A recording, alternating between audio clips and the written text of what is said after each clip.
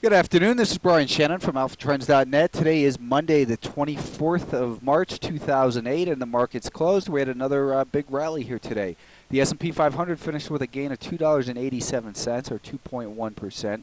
You can see that it came right up to this declining 50-day moving average, and we're seeing the volume really start to diminish in here, which is uh, not a reason to sell or sell short, but a reason for concern in here. And I pointed that out midday on the blog if you uh, had taken a look at that, that even at that time the, the market was, uh, volume was running low. But uh, again, only price pays.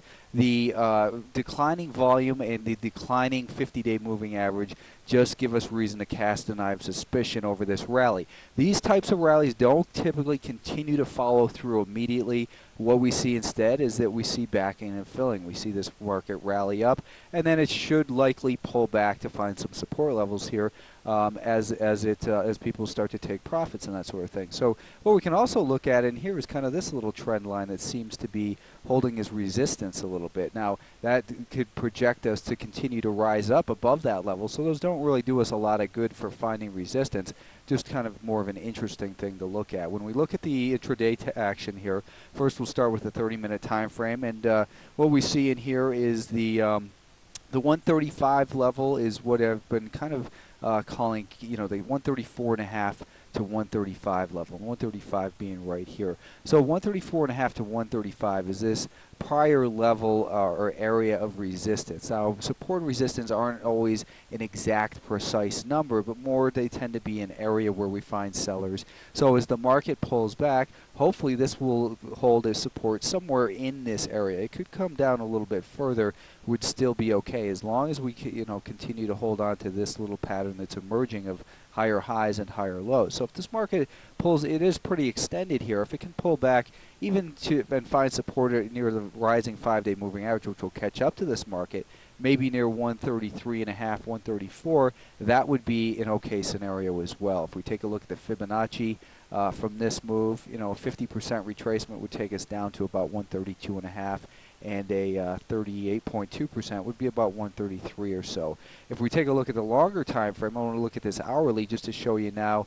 Uh, why don't we take a look at this actually at the daily time frame? If we look at the VWAP, the average price this market has, uh, you know, the S&P 500 has exchanged hands since the January lows. It's right here at about 133.70, and the market obviously closed above that level. So we'll look to see for about 133.70. I think should be an area that is probably going to. Uh, you know, have a hard-fought battle.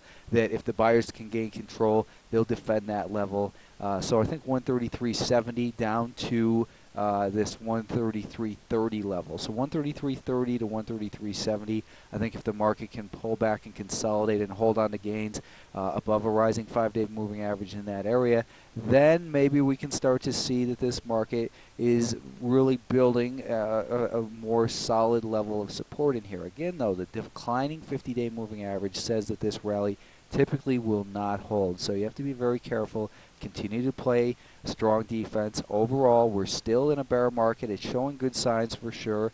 Um, and again, it's too early to call this a double bottom. So here, so I'm not going to get into another lesson about that. But when we look at the shorter term action, you know, today the market just uh, opened up, uh, you know, gapped higher with, you know, people were excited about the Bear Stearns news.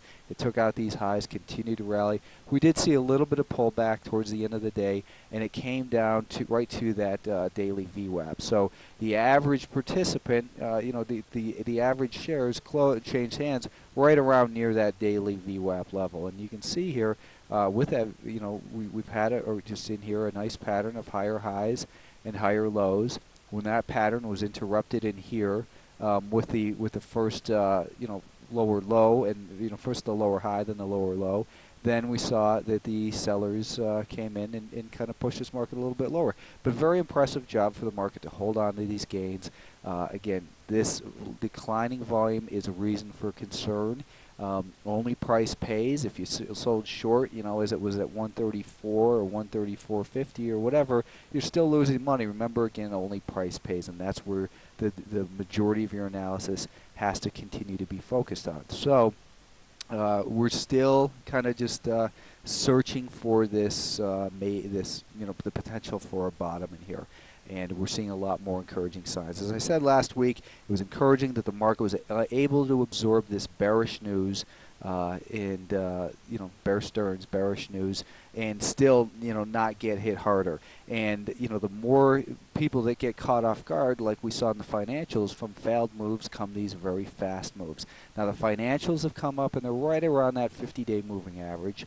Uh, just like the S&P 500, and they were also coming down to this, uh, you know, or I'm sorry, came up to this declining trend line. So we found that you know we've seen some that on the daily time frame that this level has been important as support back in January and then resistance over here in February.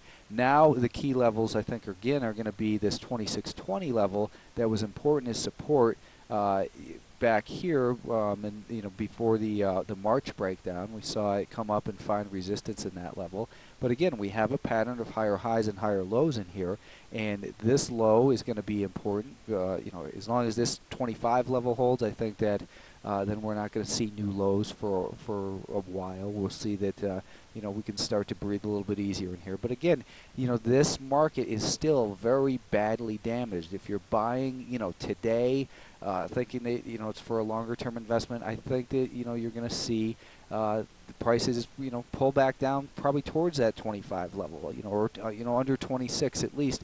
Um, and, and you know a, a healthy bull market sees the 10-day moving average above the 20-day moving average, the 20-day moving average above the 50-day moving average, and all of those have a positive slope to them. We still don't have that yet. As I pointed out in the XHB last week, the Home Builder Index, we're starting to see some more encouraging signs in here, but this market even came to its declining 200-day moving average, where the big, big players uh, key off of. And when that happens, a lot of time you might see a little bit more sideways action, but we need to see all these moving averages get lined back up with the short term above the intermediate term, with the intermediate term above the longer term, and all of them advancing. So this market still has a lot of work left. Don't get too excited about these 1.6% rallies like we saw in the XLF today, which was obviously very encouraging, but it doesn't change the fact that, you know, in the XLF that we're still in a primary downtrend. So um, just continue to exercise caution. We're seeing you know, a little bit more clarity uh, as far as the, the sellers not just you know completely owning this market, uh, but the, the, the bullish uh, volume is starting to, uh, you know, the bullish uh, momentum is starting to wane as evidenced by volume. The, uh, you know, the XLF came down a lot harder than the rest of the market in here today. They tried to find some support near that 27 level, and that was VWAP as well. When it broke that, then a lot of people rushed in and, and took some of these quick profits that they've had in here. For now, in the shorter term time, the intermediate term rather time frame, and that's, you know, 30 minute time frames. We're going to look for this 26 level to hopefully hold as support. That would be a very encouraging sign um, and allow us to, to think that you know the worst is maybe behind for the for the uh, for the XLF. Um, the IWM, let's not take a look at the semiconductors because they're still, you know, they're, they're one of the stronger groups in here, but they're just basically neutral, back up towards the top end of the range and found a little bit of selling near that $30 level today. The Russell 2000 was up 3.8%. Uh, it cleared the 69 level, so that's that's very encouraging as well. It cleared the 50-day moving average, but the 50-day moving average is declining, and volume is also declining. So this move is very likely to fail. Uh, it doesn't mean that I'm expecting new lows necessarily down towards the 64 level, because I think when we saw all that bad news come out and the market held, that it just put a, a psychological short-term bottom in this market. Now price has to kind of confirm that good feeling and make sure there isn't a, that next shoe to potentially drop that could you know get people to change their minds real rapidly like they did after these other you know large rallies back in here. People change their minds very quickly when we have a primary downtrend, and you have to be quick to lock in those gains and uh, be you know be ready to, to, to, to take the other side quickly.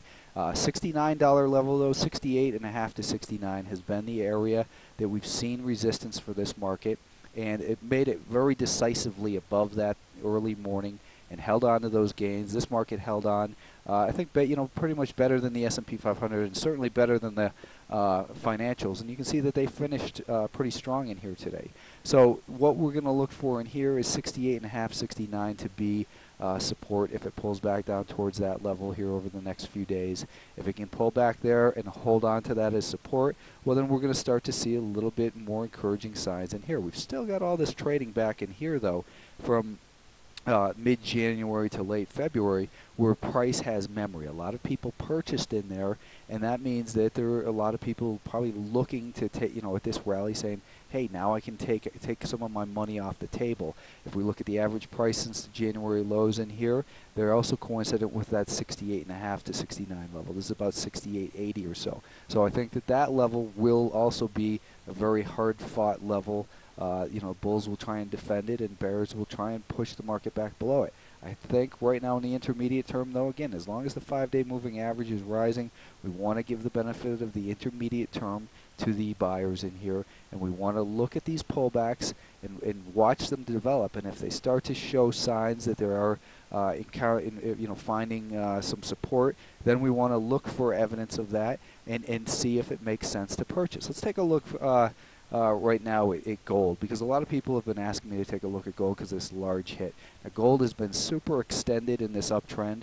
Um, you know, they can, you know, which which is why it's so hard to pick tops. Looks like it's trying to find support along this trend line. However, if you look at the daily time frame, a lot of people bought on this day thinking, well, it's close enough to the 50-day moving average, 50-day moving average off an axis support. This market got crushed on huge volume. So it doesn't tell me that it tell you know the biggest volume is traded in quite a while. So I think that there'll likely be a bounce, maybe up towards that 10 and 20 day moving average. But if I was long, uh, longer term positions in gold, I think this big, big volume is a good reason to be concerned. If we look at a 10 minute time frame, there's no evidence that this selling is done yet. We're starting to see a little bit of accumulation perhaps in here. It looks like this uh, level right here at about 91.50 is uh, 65 actually is going to be important. But you want to wait if you're looking for new purchases in here. You want to wait for this orange, the five-day moving average, to come down, flatten out, and then see the market get back above it and buy strength. If it can do that, then I think it's okay to go back into gold. If you're in there now, it's no different than buying, uh, you know, Google uh, on its way down from 710 to 7, you know, 680 down to 400. Um, picking tops and bottoms are the hardest jobs there are on Wall Street. Uh, but everyone tries, everyone signs up for the job. Uh, the NASDAQ 100, very impressive action in here as it broke this downtrend line uh, for one. It was up 3.4% here today and held on to the majority of those gains. Uh, unimpressively, we saw real light volume in here, so the you know it was more of an absence of sellers in here. The sellers have been worn out in here. There's just not a lot of supply. I think the market will find, you know, the market's purpose is to facilitate trade and it seeks out supply to offset this demand. So far, it hasn't encountered it yet, it yet, which is why any resistance level we look at is nothing more than a potential resistance level until the market actually shows signs that there's big volume up there and that the sellers are taking it back control. But if you look at this 10 minute time frame, we've got a nice little inverted head and shoulders pattern that would indicate, you know, the height of this 41 to 43 and a half. That's two and a half points. That would give us a target up near 46. I find it uh, improbable that it would happen, but uh, Again, I just want to point it out to you. Impressively, though, the market made it above the 43.50 level. That's the level I said on Friday would be key for this market this week. And now it's pretty far away from it as well. That it's it's it, it increases the chances that any pullback that comes in here uh, will you know maybe get halted near 44, maybe 43.75. Let's see. You know, again, there's no evidence yet that the sellers are coming in and taking control. They have the ability to take control pretty easily, though, because the light volume shows that buyers aren't really rushing into this market. It's more of an absence of supply. Um, the level that really this, this last sell-off uh, materialized from was after repeated a test of that 4450 level. When 4450 failed, that's when all hell broke loose. Now the market's holding that level of support. I think you know if it holds above 40, you know today's uh, mid-afternoon low at about 44.30 or so, 44.35. Uh, if it breaks below that, then we might just start to see a little pattern of lower lows and lower highs develop.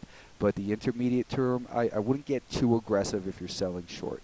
These rallies typically don't last in, with the 50-day moving average declining, but we're starting to see more indecision. That it, it just means time to you know continue to be uh, trading smaller share size in here.